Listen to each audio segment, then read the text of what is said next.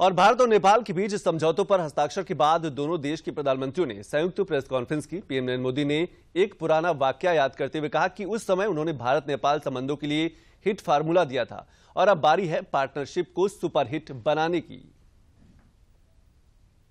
कार्यभार संभालने के तीन महीने के भीतर मैंने नेपाल की अपनी पहली यात्रा की थी। उस समय मैंने भारत नेपाल संबंधों के लिए एक HIT formula H I T दिया था।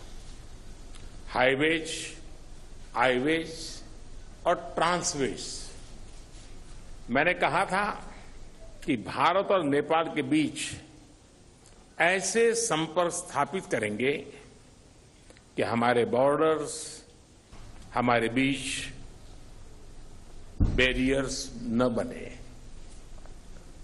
ट्रक्स की जगह पाइपलाइन से तेल का निर्यात होना चाहिए। साझा नदियों के ऊपर ब्रिज बनाने चाहिए। नेपाल से भारत को बिजली निर्यात करने के लिए सुविधाएँ बनाई जानी चाहिए।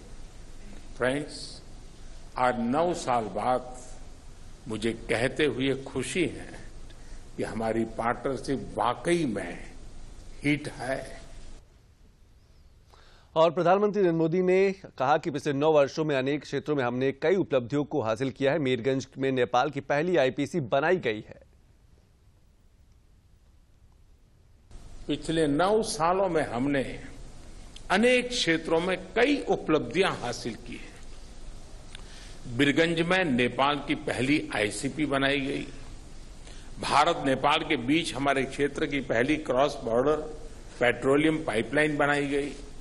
हमारे बीच पहली ब्रॉडगेज रेल लाइन स्थापित की गई। सीमा पर नई ट्रांसमिशन लाइन्स का निर्माण किया गया है। अब हम नेपाल से 450 मेगावाट से अधिक बिजली आयात कर रहे हैं।